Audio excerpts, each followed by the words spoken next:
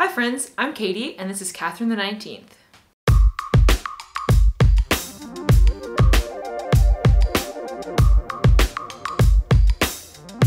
On this week's episode of Creator Club, which yes, changed the name of my series, but I hope you like it. Welcome. Welcome to the Creator Club. In this series, I am teaching beginner YouTubers how to make awesome videos from a technical and creative perspective. So welcome. This week, we're going to talk about intro sequences. You might have noticed mine at the beginning of this video. Intro sequences are a great way to introduce your YouTube channel and who you are to your viewer. So I think there are about three really important reasons why having an intro sequence can really improve your YouTube videos. For one, it creates brand recognition. You want your viewers to start recognizing your channel for your particular thing, whether that be a topic that you cover or your personality, and you can communicate that through the visuals that you use in your intro sequence. It can help make your videos more memorable and maybe even convince somebody to subscribe.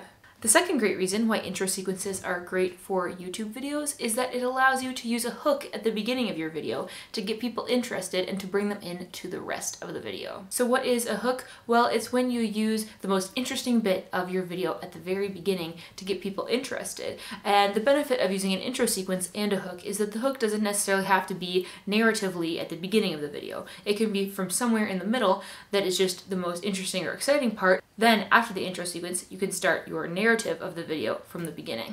A classic example of this is Casey Neistat and his crazy flashy beginnings followed by his classic intro sequence and then the beginning of the video.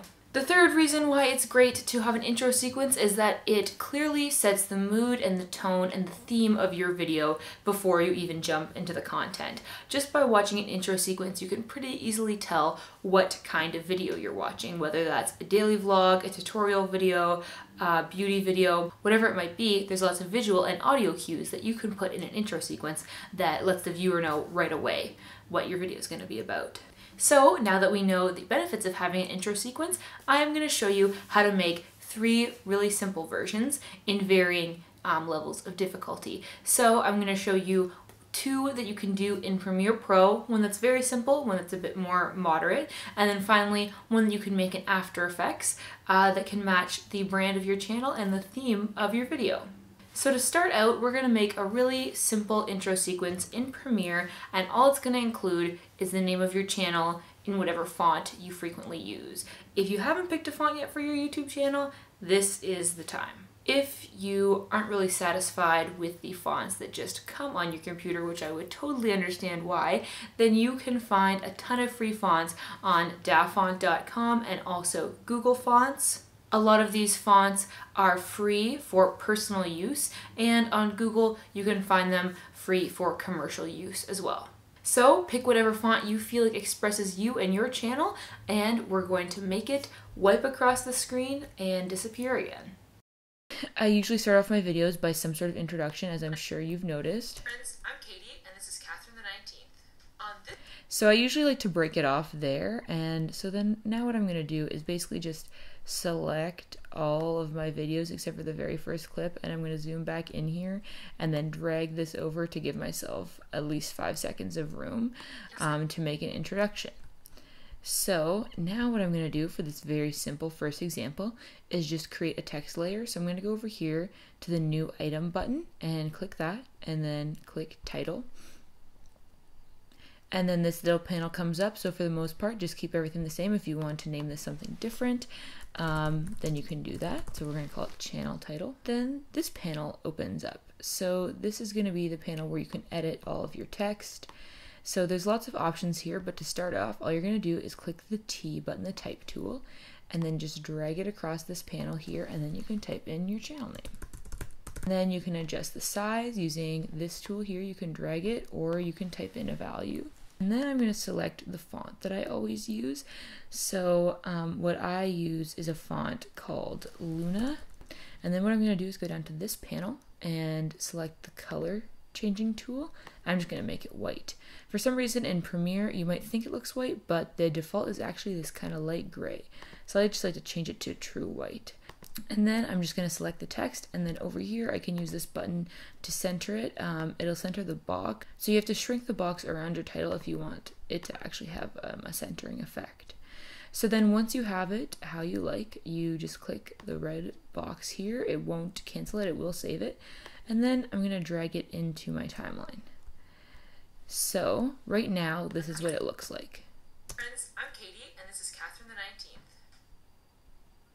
So that's a little plain right now. So we're going to add a video transition. So if you go over to your effects panel, which is usually on the left hand side here, you're going to go to video transitions and then wipe and then um, put the wipe there. So then the text is just wiping across black. So now what I would do is select this blank space, right click and ripple delete. And then you can add music if you want. And then that is your intro sequence.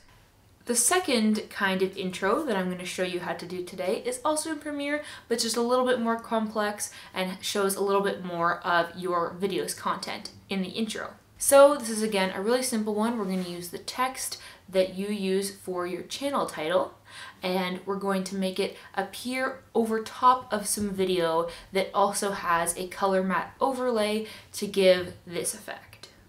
This kind of intro sequence is great because it shows a little peek ahead at what your video is going to be about and it also shows your channel title and even the title of your video if you want. Additionally, you can use colors associated with your brand or just your favorite colors. So this is how it's done. For the next example, I'm going to show you guys how I created the intro for my most recent weekly vlog. So this kind of intro is really great for a vlog where you're going to be showing a lot of different, um, sort of visually different clips, um, just because then it's a little bit more interesting. So this is how my video sort of starts out.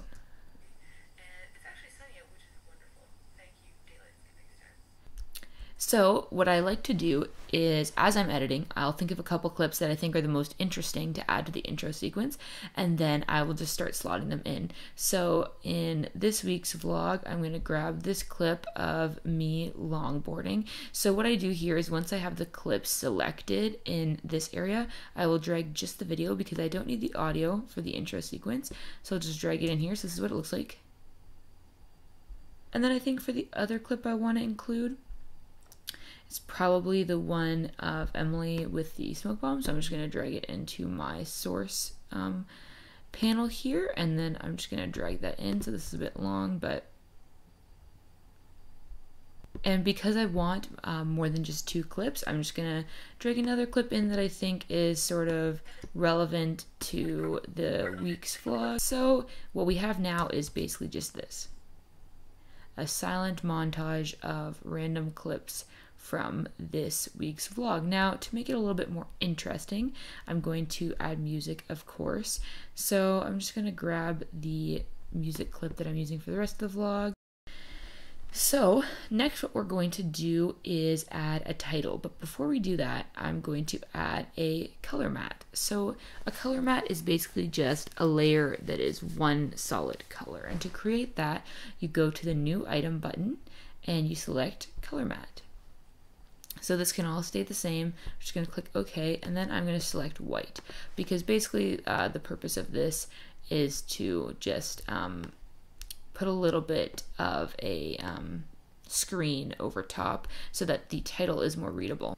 So I obviously don't want a solid white layer, so I'm just going to select it. So as you can see, it goes from pink to white when you select it, and then effect controls, and then opacity, and then I'm just going to set the opacity to about 40% and hit enter.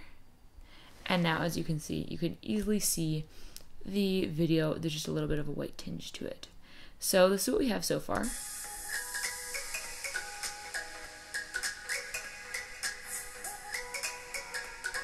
Awesome, so that's pretty cool.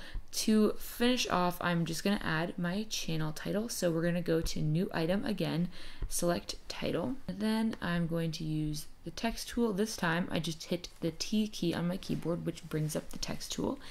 And I'm gonna type in Katherine the 19th. So finally, I'm just gonna layer that on top of the color matte.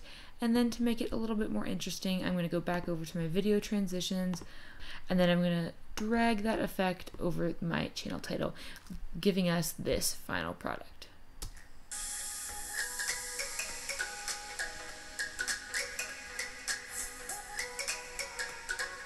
For the third and final intro sequence for your YouTube video that I'm going to show you how to make today, we are going to use Adobe After Effects. Now, I know After Effects can seem really intimidating at first. I thought so as well, but after just watching a few simple YouTube tutorials and understanding a couple key principles like um, keyframes and transforming effects, then it's actually not that hard to use. So in this example, I am going to show you how I made the intro sequence that I'm currently using with my videos.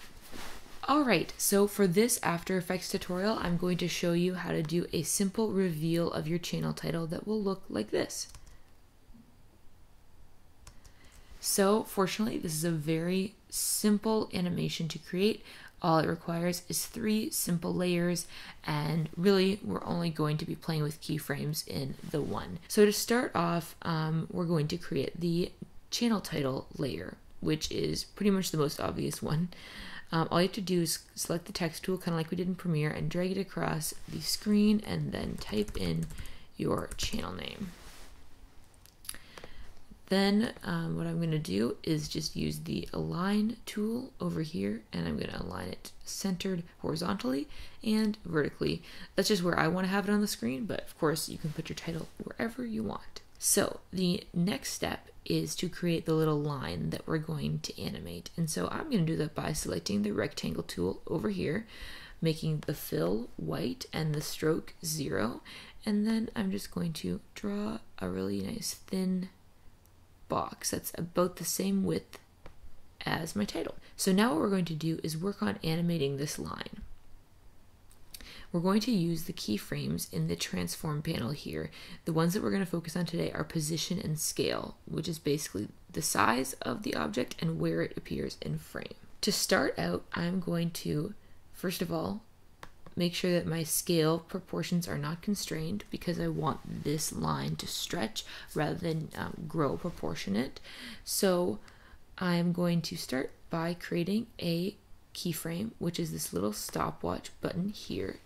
And then while this keyframe is highlighted, I'm going to just shrink the length of this line until I hit 0%. So now it's totally invisible, which is how I want it to start. Now I'm just going to skip ahead to about half a second. Now I'm going to just start dragging this until it gets to 100%. And as you can see, After Effects automatically created another keyframe for me, so I don't have to worry about doing that. All right, so let's just see what we've just done. So we'll start here, and you press the space bar to preview it. Great, so our line has grown. Now, right after the line grows, I want it to start moving over the title. So I'm just gonna move another about a quarter second forward and I'm going to create a position keyframe.